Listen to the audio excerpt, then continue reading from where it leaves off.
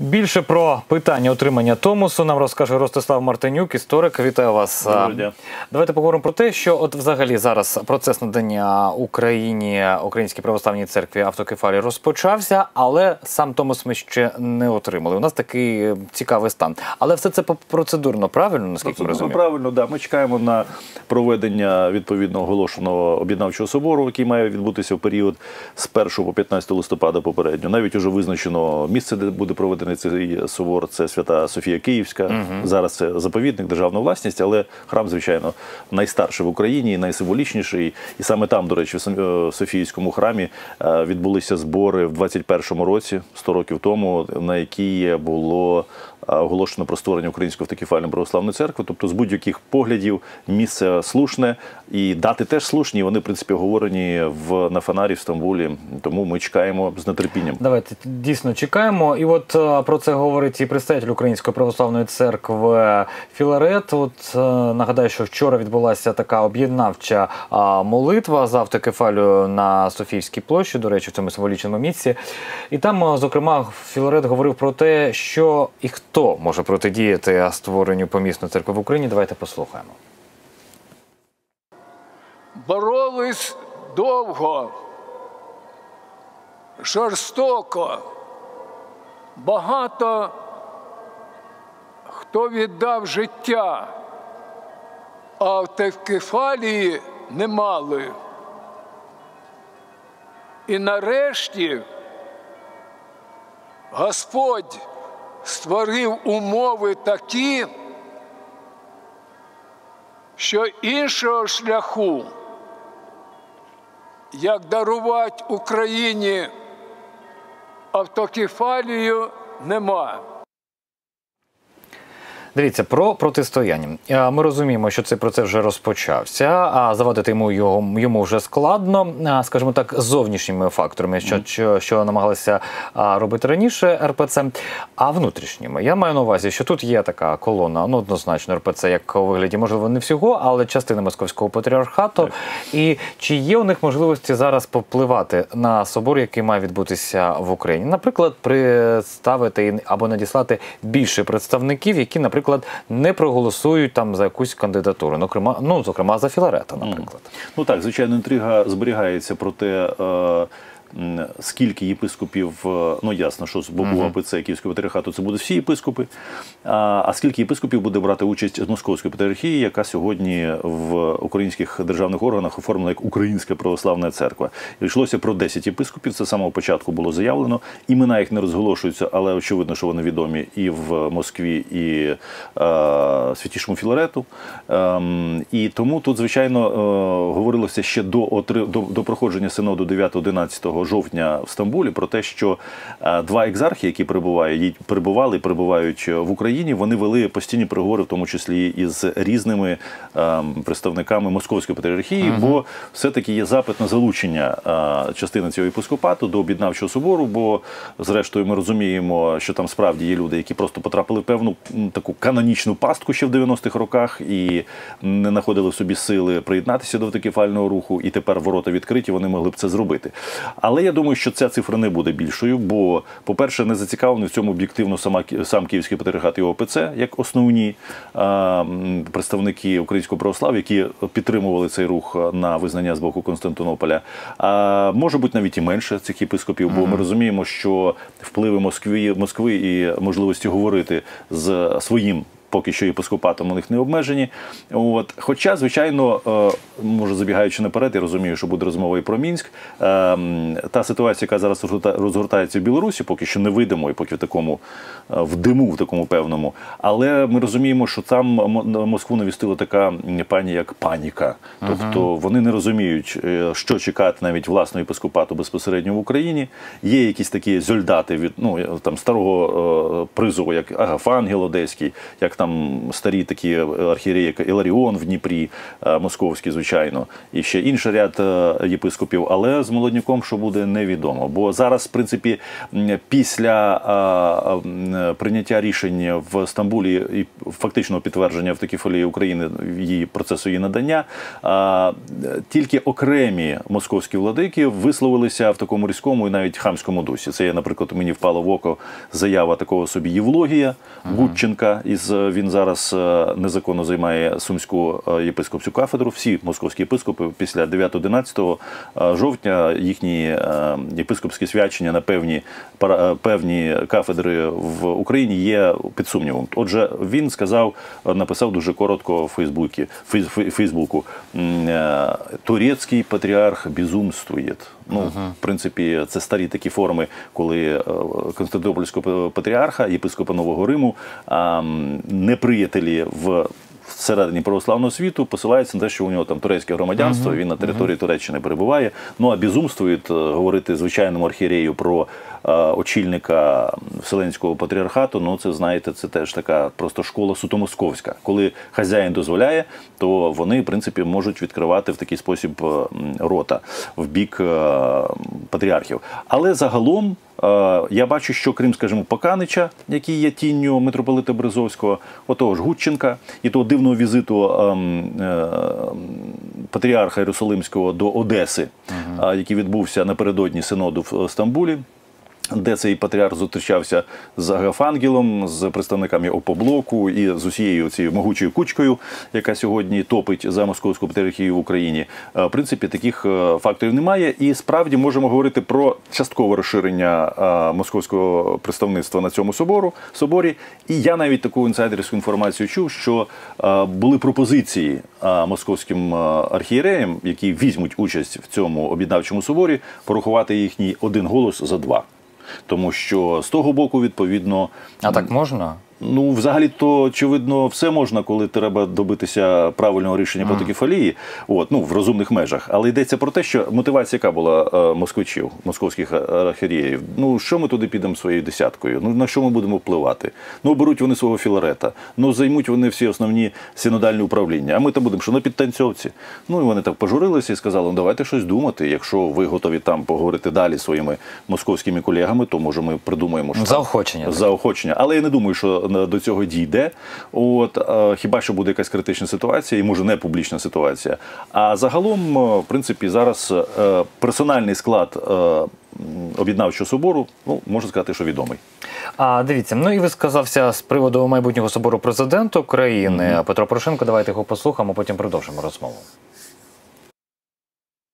Сподіваюся і вірю, що собор пройде всупереч нашій національній приказці про те, що там, де два українця, там три гетьмана.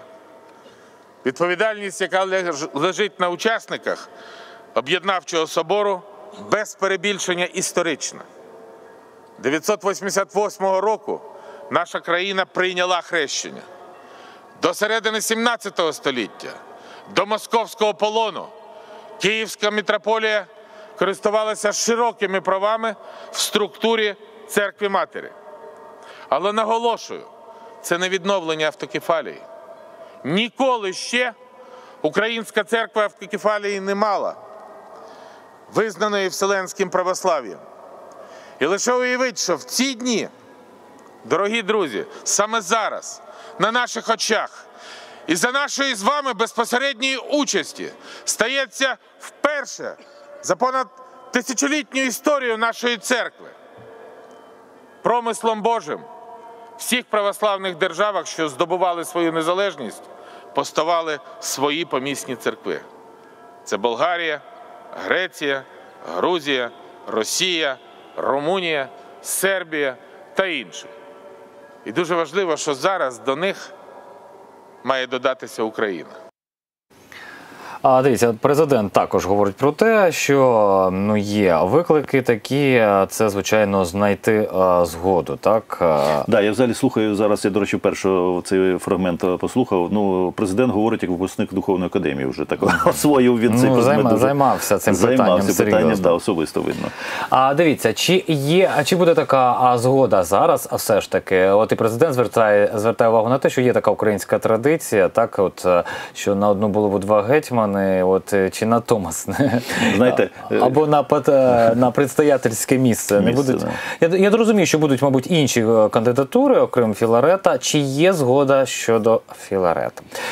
Просто постать ви розумієте, так? Яка Така може потужна і багатоаспектна. І багато, так, так, так. Ну, можна сказати про наступне, що е, я так розумію, що все-таки Вселенський патріарх Варфоломій не хотів би, щоб саме Філарет очолював е, нову церкву, був обраний. Але це скоріше таке побажання і людини духовної, а не якогось самодура, який, в принципі, включає в ці обставини якісь особисті мотиви. Е, йдеться про інше, що ті, хто добивався цієї автокефалії, а це, зокрема, були заяви е, окремі Верховної Ради, це і президент України, це всі, в принципі, е, представники держави виступили з такою ініціативою підтримати автокефальні прагнення і підтвердження автокефалії України. То я думаю, що для них, е, звичайно, альтернативи святішому Філарету немає. Ну, Наскільки ми розуміємо заяв, і саме а, предстоятель Української православної церкви Київського патріархату не бачить альтернативи. Він сказав, Так, що ну, я був, є і буду предстоятелем. Ну і в принципі він, знаєте, все-таки людина, яка не має кокетувати в своєму віці і говорити те, що він думає. В даному випадку він очільник е, е, церкви, яка пройшла ну такі буремні, складні е, історичні віхи за ці останні 25 років. Він був А від чи не стане це перепоною? Така принципова позиція. А можливо, там я думаю, я навіть трохи впевнений, що у єпископів московського патріархату, мабуть, трохи інша. А позиція і ім'я Філарет їх також трошки бентежить. Ну я би тут сказав про одне: що все-таки ми всі люди смертні, а уж ті люди, які в принципі в 90 років займають е, ці посади, вони все-таки займають на, на не дуже довгий період, якщо вже будемо говорити. Але мені розповідали, був е, такий випадок у Сербії, коли обрали, е, начебто, достатньо хворого вже е, єпископа на посаду. Там він мав там туберкульоз, але він прожив ще замість двох років, як очікували 12. Ну і взагалі на престолах патріарших це справді божі люди. Живуть довго. От патріарх Максим Болгарії він дожив до 100 років. Є інші приклади. Тут йдеться, ми побажаємо всього найкращого святішому Філарету, і в такому ключі може навіть і не варто говорити е, про ці речі. Але е, тут йдеться про одну річ. Якщо ми 2008 року, ще 10 років тому, нам приїжджав святіший е, Варфоломій, той самий патріарх Константинопольський, пропонував просто-напросто стати автономією в складі Вселенської патріархії. Ми відмовилися і сказали, до, речі, тоді була слушна заява. Для чого набувати автокефалію? Це все одно, що ну в такий спосіб. Якщо це якби сказали Україні, хочете вступити в Євросоюз? Ну тоді Бути, наприклад, там складі- частиною автономної республіки якоїсь там Польщі, де, да? Польщі, і разом з наприклад, поляками. А потім колись це всі речі, які не відмотуються назад, і історія і церква сама по собі це не уламок якогось історичного корабля, це жива структура і живі обставини. І тому, коли доведено всією пасторською діяльністю певного архієрея в тому, що він здатен очолювати в такий складний період е, автокефалію, то чому не можна в принципі погодитися з об'єктивними речами? А всі решта речей відкласти на потім. І до речі, я хочу сказати, навіть по цій картинці, які я був свідком на вашому екрані, а, за спиною у святішого патріарха і потім у президента стояв такий собі архієрей ОПЦ Володимир Черпак. Я його особисто знаю. Він був раніше кліриком Київського Так про що це свідчить?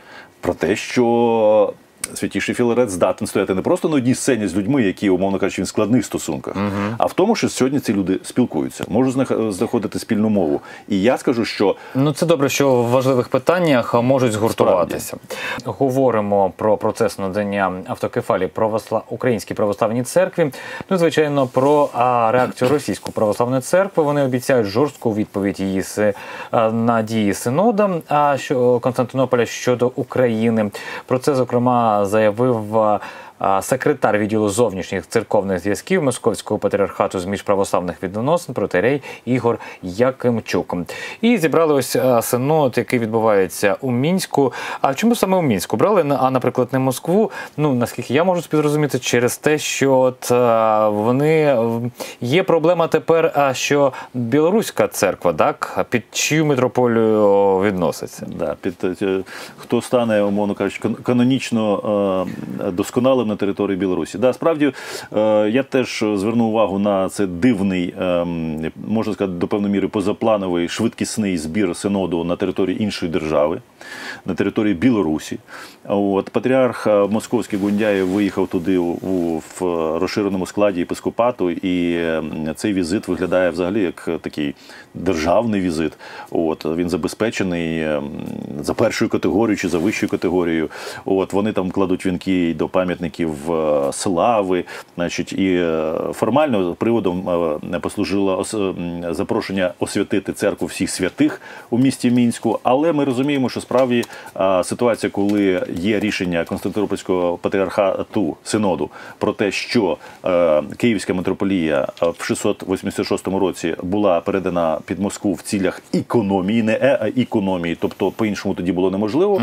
Але і в той спосіб і тоді Москва не дотримувала своїх зобов'язань перед Константинополем і порушила всі канони. То відповідно ми згадуємо одразу карту Київської митрополії, але вона була не збігалася з картою теперішньої української держави.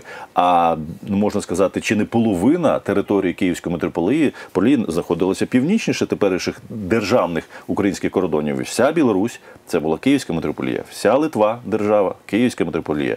Половина Латвії, Київська митрополія і польська церква, яка сформована була якраз в 1924 році рішенням Константинополя, якраз посилався Константинополь на те, що польські православні це частина Київської митрополії, а Київська митрополія належить е, мати церква для неї Константинополь. Тому, звичайно, тут з'явилася така паніка і е, серед в, в Москві, що наступним е, пазлом. Або наступним наступна територія, яка відійде від е, Москви, це буде Білорусь. Звичайно, ми розуміємо, що автокефалія в Білорусі е, тут сьогодні, або навіть післязавтра, ну це така фантастика, тому що ну, так, але все ж таки думаю, що подивилися. Так, але і легітимність, легітимність думаю, Москви на цій території підірвана, і де-факто ем, і де юре е, Константинополь. Підтвердив, що це не територія Московської патріархії. Знову таки в цілях економії вони ставляться до цього спокійно. Вони можуть там проводити синоди, е, завозити весь свій пакет е, архієреїв і е, там по мінську кружляти на дорогих автомобілях і освячувати всі які завгодно храми. Але на це Константинополь, у якого 2000, історія кілька тисяч років, ну дивиться собі, робіть хлопці, їздіть, проводіть там свої архієрейські собори, але ключики від білоруської церкви знов таки в Константинополі. І разом з нами ключик маленький теж в Києві. Бо ми А, дивіться, а які рішення можуть бути там прийняті? А все ж таки, а чи можемо ми очікувати, що будуть е, серйозні рішення щодо роз- розривання стосунків з Константинополем Російської православної церкви, про що, начебто, озвучувалося? Чи все ж таки будуть тільки заяви, а кроків рішучих не буде? Ну я думаю, що заявами вони не обмежаться. Хоча, в принципі, зараз е, церковна московська дипломатія вона запускає а, в ем, медіа різні версії, як вона буде себе поводити, перевіряє, зондує Ну, реакцію. реакцію. Мгм. Є така, наприклад, е, там дикі пропозиції е, від, е, до речі, одного такого біженця з України, е, який зараз служить в Москві. От він розповідає про те, що взагалі давайте їм там анафіму вліпимо Варфоломію і всім там в Україні, а потім взагалі створимо паралельні структури. Хто такий Варфоломій? Я вас питаю. Турецький єпископ, То так? турецький громадянин. А ми створимо натуральну паралельну Константинопольську там патріархію і який-небудь там цілий паралельний православний світ. А, ну це звичайно речі, на які вони не підуть, але вони показують ем, е, умовно кажучи, свою те, що вони називають дерзостю. Да? От вони допускають, що якісь клірики можуть так от дерзіть, і вони це навіть поширюють. Але реальні кроки такі, що е, ще до проведення цього синоду вони розуміють, які будуть рішення в Стамбулі.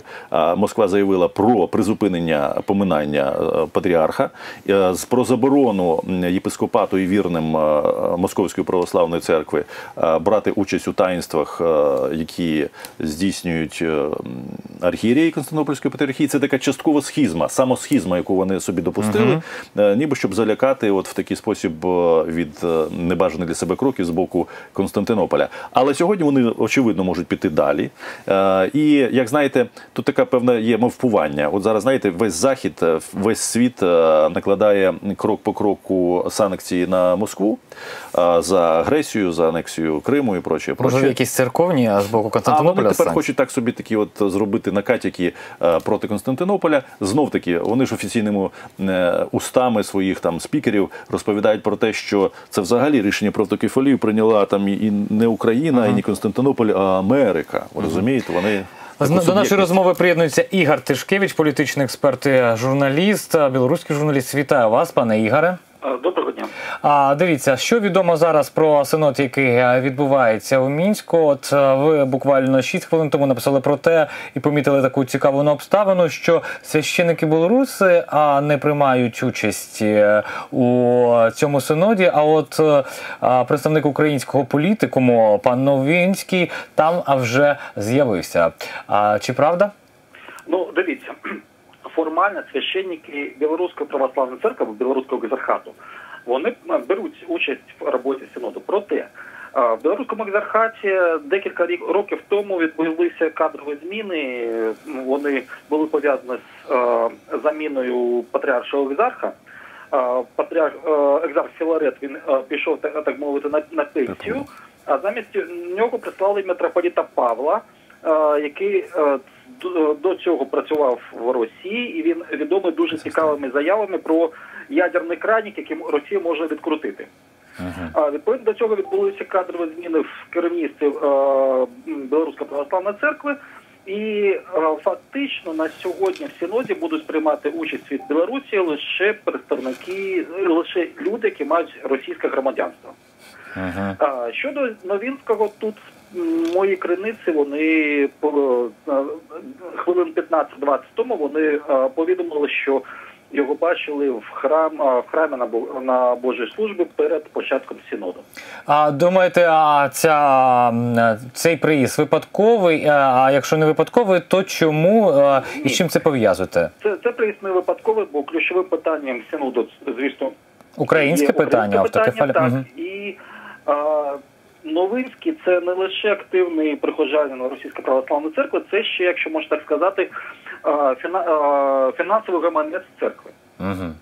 А, Тоб- Для активності, яка не на, а, навпроти не, пов'язана з відправкою релігійних потреб. Тобто будуть обговорювати і вирішувати, а, за які гроші, точніше, в яку копійку вийде протистояння проти української ні. Я, я думаю, що будуть обговорювати, що робити, щоб не допустити об'єднання українських церков та щоб завадити... Ну правильно, скільки за це треба заплатити? Правильно ж? Так, в тому числі е, скільки за це можливо треба заплатити, або які не церковні акції треба організувати, і в тому числі скільки вони бу- м- можуть скоштувати. Ігор, дивіться, є вже реакція президента Білорусі Олександра Лукашенка, яка виступає проти розколу православ'я, назвавши його а, небезпечним. А, як прокоментуєте цю заяву? Я просто хочу запитати, чи а, у єпископи білоруські після українського досвіду замислювалися про надання і отримання автокефалії, точніше, і чи ця заява Лукашенка свідчить про те, що ну не піде Білорусь, Білорусь поки що таким шляхом? Ну, по-перше, давай давайте почнемо з е, якщо е, дещо раніше за заяву. Учора патріарх Кирил просто як відбувається його визит. Патріарх Кирил приїхав позавчора.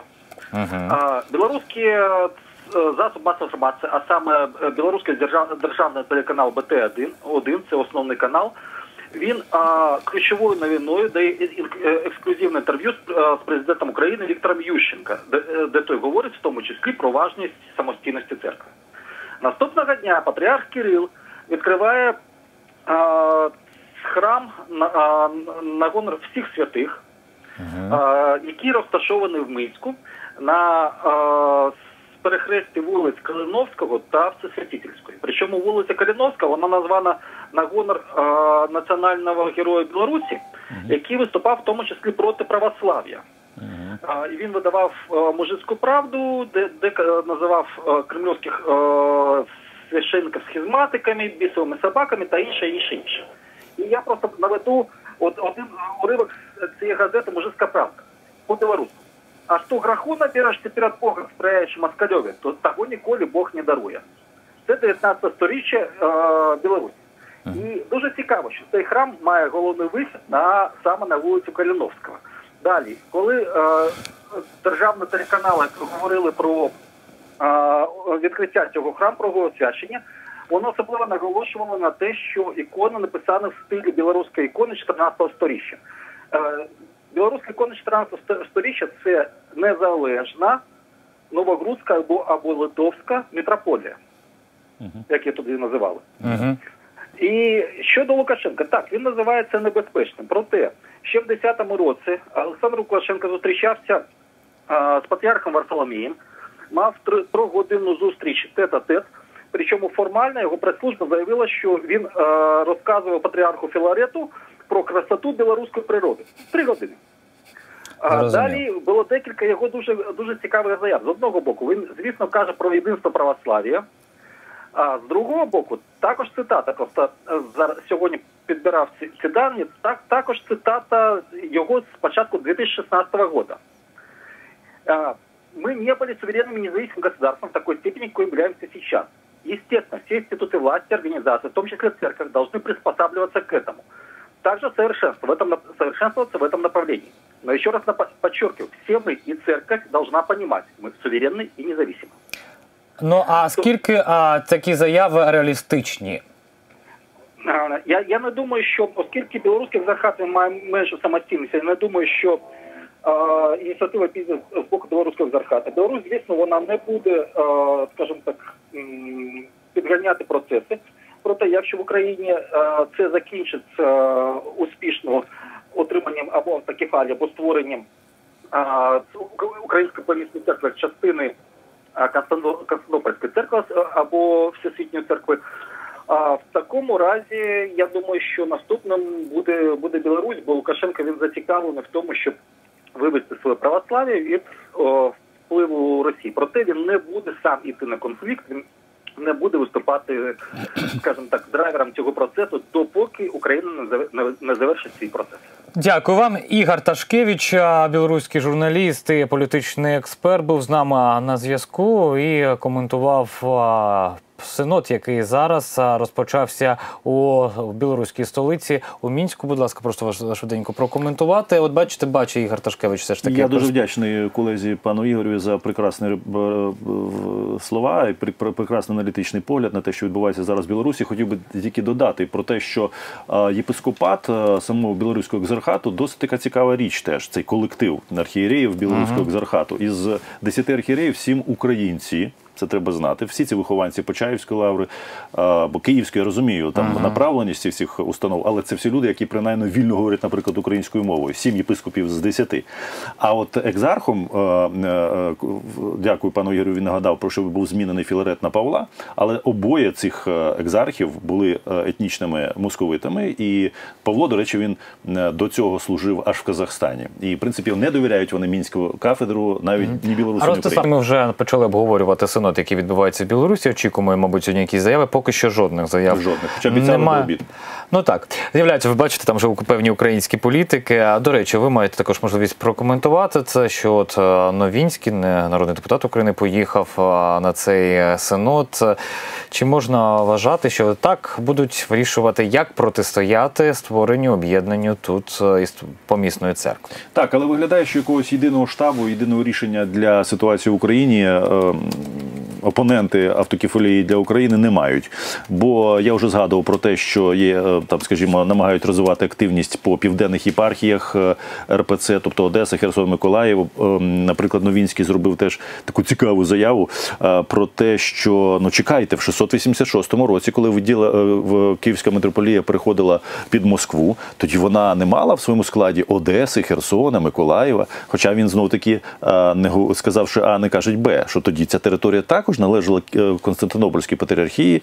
І коли прийшла туди е, е, Російська імперія, то навіть грецькі парафії зберігали певну автономію. І це була знов таки одна з форм економії передача півдня України до складу Московської патріархії. А щодо Білорусі, я дякую теж ще раз повторюся колезі. Він згадав таку таку цитату навів Кастуся Каліновського, да, таку антиправославну загалом, тобто не про автокефальну, а антиправославну. Я хотів би згадати, що до кінця 19 століття Білорусь була переважно не католицька і не православна, а унійна. І хоча, в принципі, було в адміністративний спосіб загнато всю Білорусь до синодального православ'я, але, е, як на мене, Білорусь відбулася як може єдина цілісна унійна територія, коли ідентичність національна е, і, е, і віровизнання білорусів було засновано на унії. Причому центр цієї унії знов таки був в Києві формально, бо тоді київський митрополіт унійний він перебував тоді в місті е, І що Польщі. е, добре згадали ми. А це і що це дозволяє думати про те, що зараз є якісь е, перспективи, що Білорусь все ж таки е, може е, з- м, зайнятися питанням е, надання собі Томосу. Тим більше от, пан Ігор Ташкевич згадував і пана Лукашенка, який, начебто, про це говорив і розхваляв природу Білорусі Варфоломію. Я скажу так, що Білорусь має чіткі і хороші перспективи отримання автокефалії знов таки через Константинополь і так само за українською, так би мовити, схемою або дорожньою картою. Я би ще сказав сюди додати треба і Литву. Бо е, незважаючи на те, що ця країна невеличка, вона є членом НАТО і наш е, постійний союзник, членом ЄС є- е, якраз е, е, сама територія Литви перебуває далі під е, канонічним, так би мовити, е, контролем Московської патріархії, і там досить такі навіть чорносотені кола контролюють маленьку, але все таки важливу литовську православну церкву. Вона так не називається. Це просто дві єпархії Московської патріархії, але це можна комунікувати нашим елітам. От дивіться, які відкриваються можливості після того, як буде підтверджено автокефалію. Україна одразу відкриває е, ворота в Білорусь. Ворота відкриває, бо ми маємо е, на півночі найбільшого сусіда, з яким комунікуємо вкрай мало. А сьогодні питання автокефалії е, церковної ідентичності відкриває можливості говорити з елітою по білоруською, і в тому числі Ну, з дивіться, ну, мені здається, що сама білоруська церква буде складно їй пройти без підтримки держави. Хоча й говорять про те, що так, і в Україні говорять про те, інколи навіть маніпулюючи цим, що держава має бути відсторонена так за законом, за основним законом а, від церкви.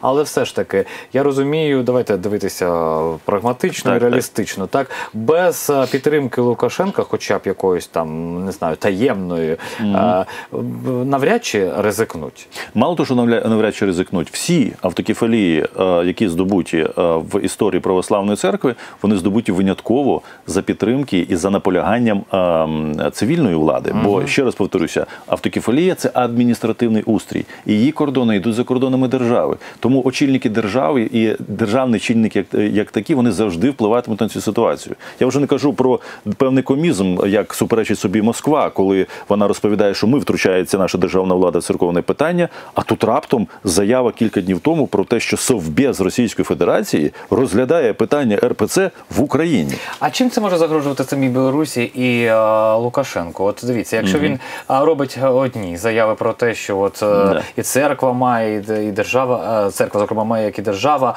зрозуміти, що вони самостійні, незалежні, про це він каже. Але при цьому він, скажімо так, дозволяє проводити в мінську ось такий синод, який ну прямо будемо казати, е, на якому будуть вирішуватися антиукраїнські е, Питання. питання. Так, оця багатовекторність не загрожує, тому що я не знаю.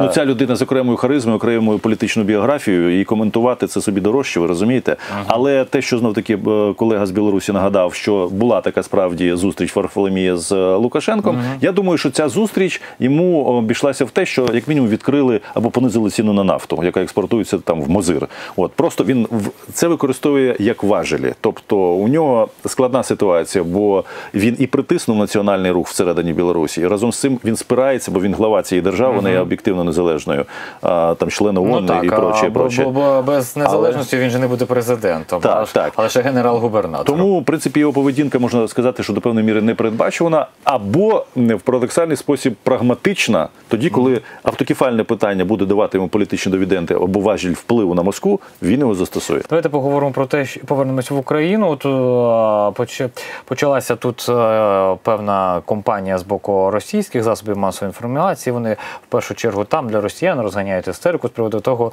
що тут е, буде боротьба за храми, кривава боротьба. І от з'явилася стаття Financial Times про те, що автокефалія Української православної церкви може стати приводом для нового вторгнення Путіна. А наскільки дійсно зараз РПЦ може готувати якісь такі а, протестні рухи, маніпуляції, провокації? Ну тут є два аспекти. Перший, я ж ще раз повторюся, що е, контрагенти РПЦ в Україні е, зараз, як на мене, не мають єдиного плану е, дій після того, як буде підтверджена автокефалія і обраний предстоятель нової помісної церкви.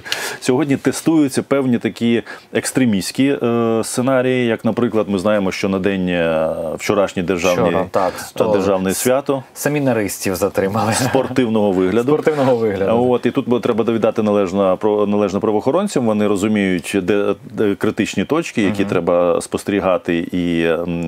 Присікати, умовно кажучи, такі, е, такі моменти, і там справді могла бути якась небезпечна ситуація, могли спровокувати е, чи інсценізува- ін- ін- інсценування таке нападу на лавру, а потім всі ці люди без опізнавальних знаків, які із семінаристів могли перетворитися на правий сектор, чи свободівців, чи, чи, чи п'яте, десяте. Тому е, є ця небезпека, е, умовно кажучи, е, сірники зараз перебувають в руках неповносправних людей, от е, в, в е, складі РПЦ. Але тим не менше, я дивлюся, наскільки органи державної влади відмобілізовані. Тут можна говорити про СБУ, що там уже ну немає ілюзії, з ким вони мають справи. І Можна говорити про національну поліцію і Авакова, який теж розуміє відповідальність в цьому плані. А, Якісь спалахи далі продовжуються там, скажімо, в рівному качають оту е, бідну птичу село е, за цей храм намагаються, але не горить. От ви розумієте, не горить. От в них, в принципі, не можуть вони створити от е, такий накал пристрастей, щоб справді пересічний і віруючий, і просто громадянин почав стартувати з питанням храму. Розмови йдуть про справедливість приналежності тих чи тих об'єктів національної спадщини до московської патріархії. Але ми у себе в державі, і ми маємо час, і ми йдемо легітимним шляхом. І процедура вся дотримана. Тому час працює на нас. А от е, в їхньому випадку, в випадку в випадку московської патріархії, вони змушені форсувати подію і роблять помилки. Головне, щоб ще українські політики тут були а, розумні, так і говорили. Зокрема, от є заява Рома, Романа Безсмертного, віце-прем'єр-міністра 2005 році. Він сказав, що підпорядкована церкві Московського патріархату Почаївська лавра займається контрабандою молдовського вина. Це фабрика, яка в незаконний спосіб насичує український ринок винними виробами. Бачите, це що ми вже починаємо, наші політики точніше починають боротьбу за Почаївську лавру. Ну там треба говорити про всі аспекти, е, звичайно, діяльності таких е, потужних е, агентурних по факту центрів Московської патріархії в Україні, як Почаївська і, і, і Києво-Печерська лавра. Звичайно, що це великі ще можна сказати господарські комплекси, які звикли заробляти в час в часи Януковича, розбудовуватися і, і ну жити як собі вони е, хочуть. Тому ця заява безсмертно ну можна її розглядати як один з е, знаєте, таких шляхів, щоб донести масовому слухачу в Україні про те, що проблему таких установ треба вирішувати е, в будь-якому разі і не відкладати на якусь там далеку перспективу. Тому треба говорити, що там зосереджені найбільш консервативні сектантські групи самої московської патріархії, які навіть конфліктували були своїм Гундяєвим предводителем. Там можна говорити про корупцію е, е, по землі, про незаконну оренду або про е, безкоштовну оренду багатьох приміщень е, національної спадщини, про незаконну забудову, бо вони там тепер збудували ще якийсь там храмік, щоб він був обов'язково вищий за той кафедральний храм, який збудували ще греко-католики на цій території. Вони спотворюють ем, обличчя е, цього е, об'єкту. Тому тут можна говорити, що всім треба. Треба зосередитися, усвідомити ем, е, глибину проблеми РПЦ в Україні, не робити різких рухів, але як грамотні, достойні люди, закон на нашій стороні, е, забрати все своє. Будемо сподіватися, що, що так і буде. Дякую вам. Ростислав Мартинюк, історик, був гостем цієї інформаційної години.